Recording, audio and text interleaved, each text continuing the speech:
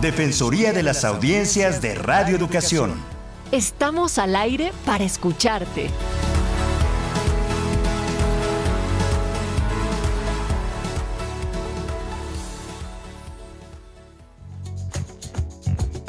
como parte de las audiencias de la radiodifusión mexicana, tienes derecho a que se mantenga la misma calidad y niveles de audio y video durante la programación, incluidos los espacios publicitarios. Conoce tus derechos y exígelos. La Defensoría de las Audiencias de Radioeducación te escucha. audienciasre.cultura.gov.mx Motivo de mi cadencia, los derechos de las audiencias y de la Defensoría, hacerlos valer cada día.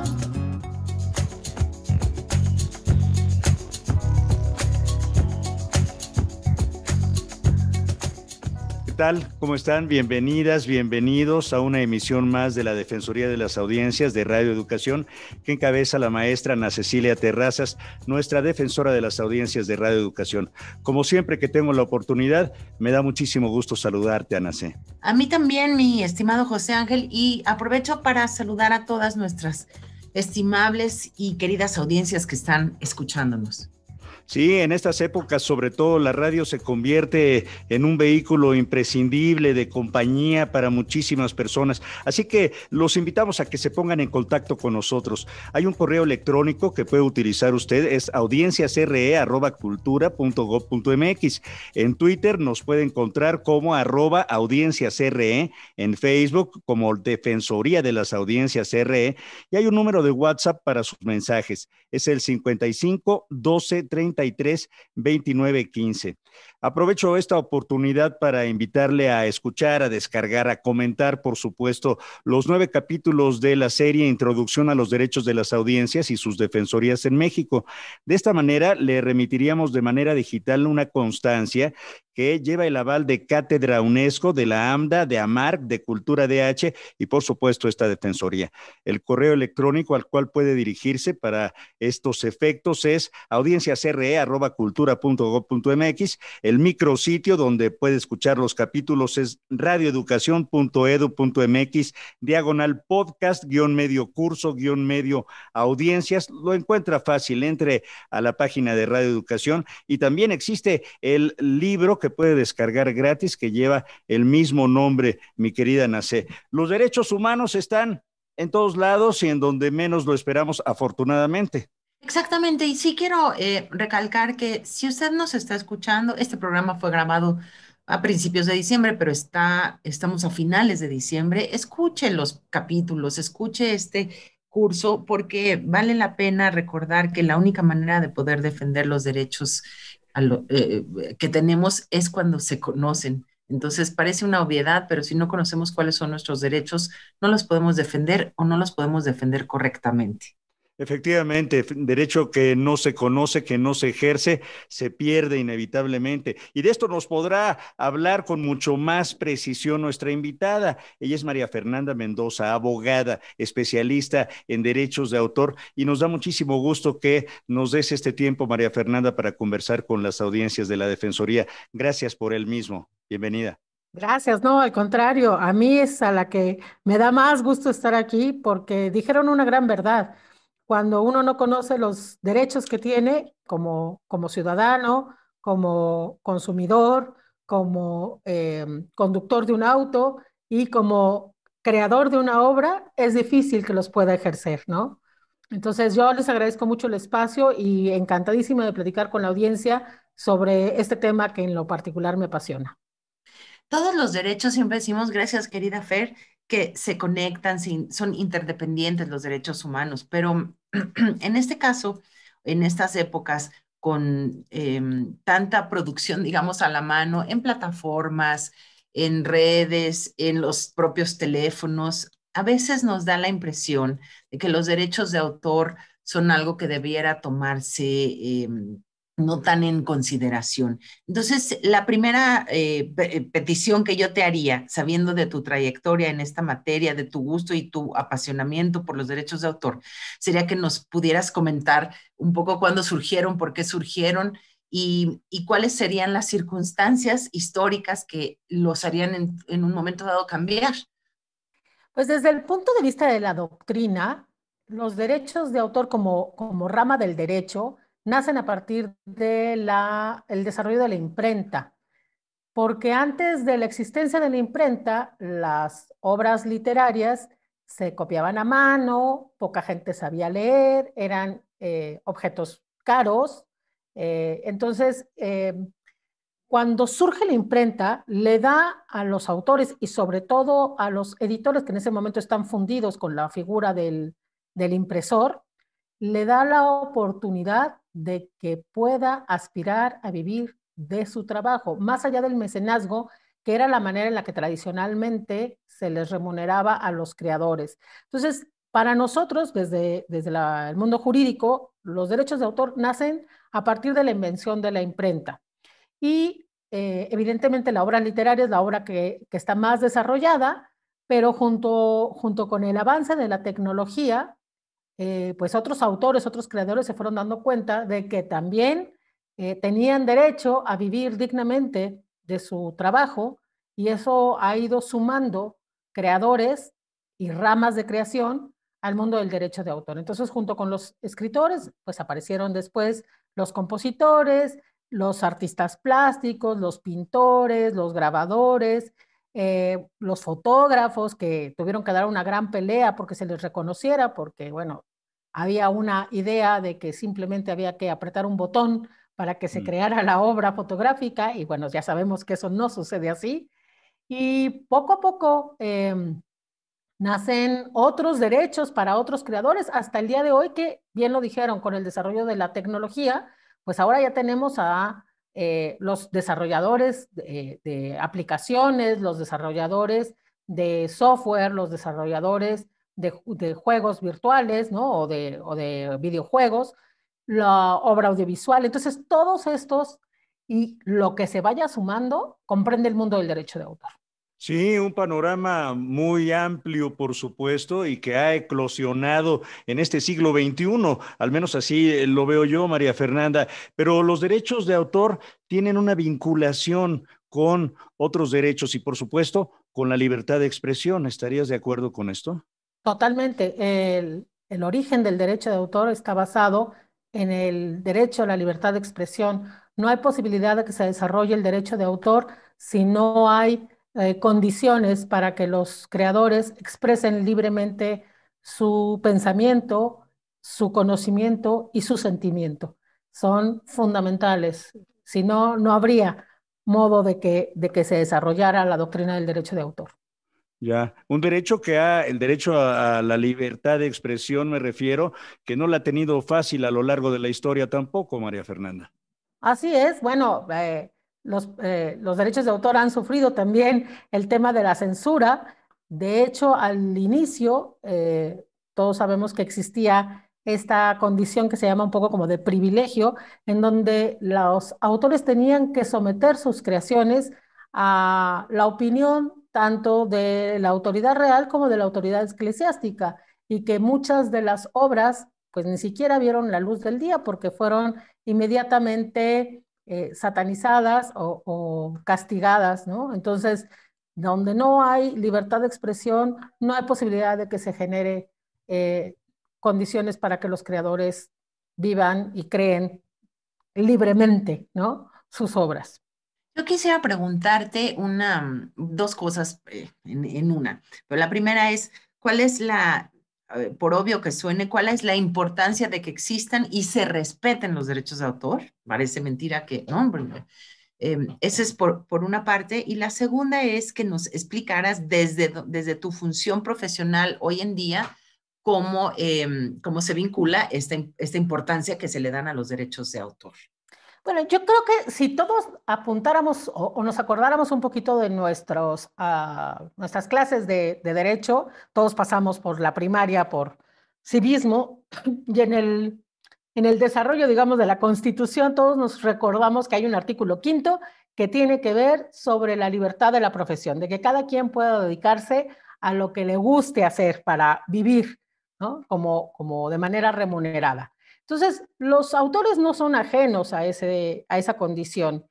¿Y qué es lo que sucede? Pues que hay una, eh, una idea de que los creadores, los artistas, eh, producen obras por amor al arte. Y yo quiero decir que sí, que efectivamente los creadores son muy generosos y además son muy inquietos. Evidentemente, tienen esa inquietud y esa necesidad de expresar y de compartir sus pensamientos o sus sentimientos. Pero lo que también sucede es que tienen el mismo derecho de todos nosotros a vivir dignamente de su trabajo. Y lo que está sucediendo es que con esta sensación de que todos los contenidos actualmente están de manera eh, gratuita disponibles en la red, da la sensación de que también podemos no solamente disfrutarlos, sino aprovecharlos y explotarlos. Y es ahí donde entra el tema del derecho de autor. Que los eh, contenidos estén libres en la red es precisamente para que los disfrutemos. Pero libertad de acceso no implica libertad de uso. Para poder utilizar una obra que tenga derechos actualmente protegidos, requiere de la autorización de sus titulares. Y esos titulares normalmente son los creadores o quienes contribuyen en la difusión de las obras, que pueden ser las editoriales, las productoras, tanto de obra audiovisual como de obra musical. Pero en principio son los autores. Entonces, hablábamos de derechos humanos. Uno de los derechos reconocidos en la Declaración Universal de los Derechos Humanos es precisamente el derecho de autor. Y el derecho de autor está al mismo nivel del derecho de acceso a la cultura de todos nosotros los ciudadanos. Los autores tienen todo el derecho a, primero, eh, que se les reconozca su condición de autores, y a eso me refiero con el crédito. No sé si ustedes recuerdan, pero hay momentos en que ponemos el radio o la radio y estamos escuchando música y cuando termina la canción nos dicen, y acabamos de escuchar mm, No sé tú de Luis Miguel. Y, oh, sorpresa, No sé tú no es de Luis Miguel, No sé tú es de Armando Manzanero. Y el intérprete es Luis Miguel. Entonces, qué bueno que le den reconocimiento a los intérpretes, pero también tendríamos que darle reconocimiento a los autores. Y lo mismo sucede en el caso, por ejemplo, de las obras que se traducen, en donde a lo mejor conocemos el nombre del autor de la obra originaria en su, en su idioma original, pero nadie nos cuenta quién es el traductor y los traductores son igualmente autores. Entonces, bueno, hay un derecho moral que tienen los autores, uno de ellos es ser reconocido, que se le dé el crédito que merecen, que el éxito de la obra vaya unido a su nombre, y también hay un derecho patrimonial. Y ese derecho patrimonial tiene que ver precisamente con la posibilidad de que ellos exploten o que autoricen a otros la explotación de sus obras y que eso les genere un beneficio económico para que puedan eh, subsistir como todos nosotros del trabajo que nos gusta hacer, ¿no? Entonces, bueno, yo diría que eso sería básicamente la importancia de que lo reconozcamos y de que entendamos de que en la medida en la que no se respetan los derechos de autor, ¿qué es lo que pasa? Que entonces los autores tienen que dedicarse a buscar un trabajo para vivir y dejan de producir. Y al dejar de producir pasa dos cosas. Una, perdemos, eh, perdemos una diversidad en la creación, ¿no? de tener mayor contenido al cual accesar, pero también perdemos eh, la creación de obra propia, nacional, porque donde no se protege en un país debidamente el derecho de autor, lo que sucede es que en otros países donde sí se protege, pues hay una, un espacio que llegan a ocupar. Y si ustedes se acuerdan, pues llegó un momento en donde eh, el tiempo de pantalla era 100% de película extranjera. No había películas nacionales porque, o había muy poquito, porque no había ese fomento que, yo creo que de un tiempo para acá se ha venido dando, algunos años para acá. Entonces, eh, yo creo que es importante que se reconozcan también a los autores nacionales y que se genere este espacio de respeto y de convivencia y de promoción. Desde luego que sí. La voz que hemos escuchado, que estamos escuchando y celebramos, es la de la abogada María Fernanda Mendoza, especialista en derechos de autor. Es el tema en la Defensoría de las Audiencias de esta emisión. ¿Cómo se relacionan estos derechos, los derechos humanos y qué sucede en este nuevo universo? Yo creo, María Fernanda, que esto afecta sobre todo, bueno, ahora en todas las plataformas y tal, si queremos descargar una música y tal, ya se está, eh, hay, digamos, empresas que se dedican y que hacen un, eh, obtienen un beneficio que supuestamente reparten entre todos estos titulares de los derechos, ¿no? YouTube y otras. Pero los creadores de contenido son los que creo eh, tienen más problemas con esto, ¿no? Eh, durante mucho tiempo había una excepción con las radios públicas y culturales del país, que no tenían que pagar, por ejemplo, derechos de autor. Creo que esa circunstancia está cambiando también, ¿no? Para bien.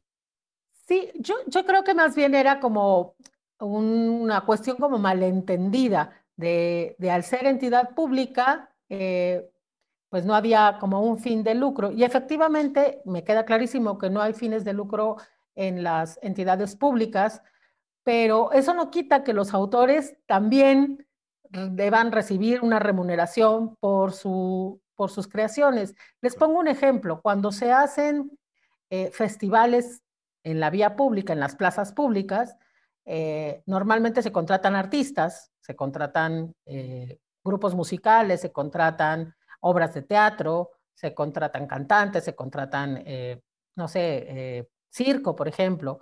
Y de repente em, lo que les piden a estos artistas es que no cobre, ¿no? Que regalen su trabajo. Y cuando haces un análisis de estas, de estas situaciones, dices, bueno, a lo mejor los artistas podrían regalar esas horas de trabajo, pero resulta que al de las gradas sí se les paga. A los que rentan las pantallas se les paga. A los que ponen los camiones se les paga. A, a los trabajadores que asisten ese día a colaborar se les paga. Entonces, la pregunta es, ¿por qué a los artistas no? ¿Por qué a los autores no? Entonces, yo creo que qué bueno que está cambiando esta condición, qué bueno que el Estado en todos sus niveles, en sus tres niveles, entiende que también los autores cobran y que, bueno, pues si vamos a regalar el trabajo, regalémoslo todos, ¿no? también, también los funcionarios públicos ese día que donen su día de trabajo. Y si no, que cobremos todos, porque eso es lo justo. Recuérdanos, por favor, em, para quién trabaja, ahora sí que usted para quién trabaja ¿Y, cuál, es la, no, cuál es la función de estas sociedades de gestión colectiva, por favor? Yo trabajo para, o yo colaboro con la, el Foro Internacional de Autores, que es una asociación internacional que representa casi un millón de autores de todo el mundo, son cerca de 80 organizaciones autorales, tanto de escritores, traductores, artistas visuales e ilustradores de los cinco continentes de, de este maravilloso planeta y bueno, ¿qué es lo que hacemos? Lo que hacemos es eh, ser una voz de los autores en la Organización Mundial de la Propiedad Intelectual, donde se discuten temas que tienen que ver con tratados internacionales y con políticas públicas, porque sucedía que siempre estaban presentes, porque tienen capacidad para hacerlo, los cabilderos de las productoras. Y eso está bien, se vale. Son eh, empresas lícitas que trabajan de manera legal, pero resulta que la voz de los autores no se escuchaba. Entonces, bueno, ahora estamos trabajando ahí y estamos trabajando también con organizaciones autorales de América Latina, que, esa es la parte que a mí me toca hacer, con, eh, desde Argentina hasta México y el Caribe, en donde nos reunimos para conversar de los temas que son afines y ver cómo entre ellos ¿no? se intercambian información para eh, mejorar las condiciones de los autores. Básicamente lo que hacemos es formación, que los autores conozcan sus derechos, regreso un poco a lo que ustedes habían dicho, que los autores conozcan cuáles son sus derechos y cómo los ejercen y cómo los negocian, porque tiene que haber negociaciones y terminar en contratos más justos y equilibrados en donde se respeten mutuamente productores y autores. Son necesariamente van de la mano, si no no habría cadenas de producción del entretenimiento y de la cultura. María Fernanda, pero también desde cómo registrar una obra también, ¿no? Que muchos autores, por ejemplo, pueden desconocer esos procesos y no saber si es en una instancia o en otra, si es una marca si es un producto, o sea, hay ahí también algunas eh, complicaciones, ¿no? ¿Qué nos dices al respecto? En realidad, bueno, no, mm, un poco separar, una cosa son las marcas y otra cosa son los derechos de autor. Las marcas las, eh, las puedes registrar en el Instituto Mexicano de la Propiedad Industrial. En el caso de los derechos de autor, déjenme decirles una cosa reveladora a su audiencia. El derecho de autor te protege a partir del momento en que la obra ha sido fijada, o sea, ha sido creada y está plasmada en una hoja de papel, está plasmada en una partitura, está plasmada en un cuadro. Eh, independientemente del registro. Es decir, hay una protección automática, está sujeta al cumplimiento de formalidad alguna como es el registro. Es decir, no tienes que registrar para ser merecedor de protección. Pero yo siempre recomiendo que registren sus obras, porque el registro constituye una presunción, porque lo haces ante una autoridad pública, de legalidad. Entonces, hay un documento que expide una autoridad en donde se te reconoce la condición de autor en relación con tu obra. Y si tú vas a hacer una negociación de derechos, es más fácil hacerlo cuando llevas un certificado de registro que dice que eres el autor y que dice que eres el titular, a que si tuvieras que ir a una negociación y jurar, ¿verdad? Que sí, que sí tú eres el autor y que sí tú la hiciste. Entonces, Nuevamente, no se requiere del registro, pero mi recomendación siempre es registrar.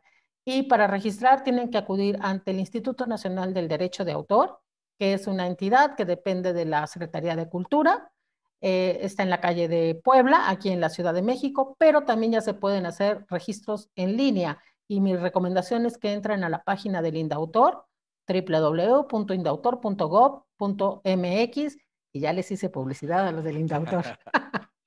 No, está bien. Y te quería preguntar justamente cómo están de salud en México hoy en día los derechos de autor en general y mm, qué les podrías decir a nuestras audiencias jóvenes que estén allá afuera.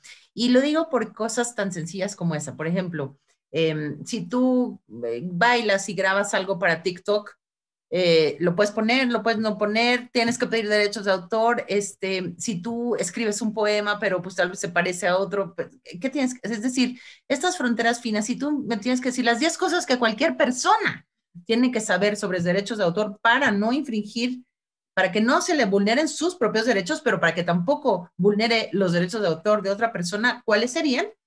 Y, y bueno, pues ya está. Bueno, básicamente creo que aquí lo importante es, uno, si eres autor, protege tu creación, ¿cómo? Pues eh, intenta registrarla, eso es lo más importante, registra. Si eres artista visual, si la vas a subir a, a Instagram, hazlo en baja resolución, ponle un sello de agua para que protejas tu creación y no te la copien.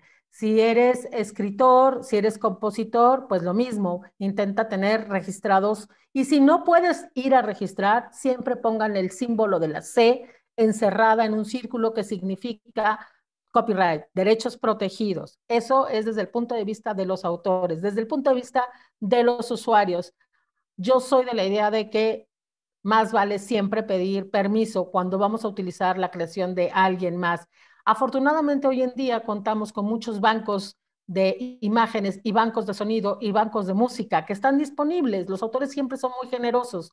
Están disponibles. Hagamos uso entonces de estos acervos que se pueden utilizar eh, bajo licencia de Creative Commons y que entonces no tienes que pagar derechos, pero sí tienes que eh, reconocer a los autores, ¿no? Siempre te piden la atribución. Entonces es dar el crédito al banco de imágenes de donde obtuviste la imagen o de donde obtuviste el sonido o la música.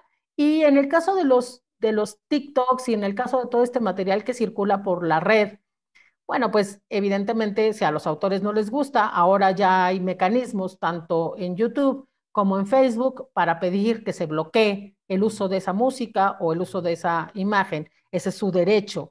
Em, pero también quiero decir algo bien importante y es que todos estamos eh, bien acostumbrados a bajar una aplicación y simplemente donde nos dicen Acepto. aceptas, todo el mundo acepta y nadie lee términos y contenidos. Y yo sé que esos eternos son como 10 hojas, es enorme, es larguísimo, es aburrido, pero resulta que si tú eres